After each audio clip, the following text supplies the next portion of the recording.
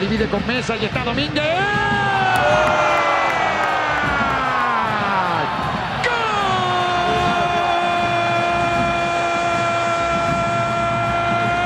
¡Gol de Barracas!